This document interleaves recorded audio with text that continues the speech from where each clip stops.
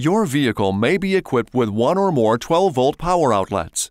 Some can only be used when the ignition is in the on position, while some are powered directly by the battery and can be used anytime. Remember though, excessive use of this outlet can drain the vehicle's battery. The power outlets can be used to power cell phones, electronics, and other low power devices. Please refer to the instruction manuals on the Owner's Information DVD or chrysler.com/owners for complete details and other important safety information.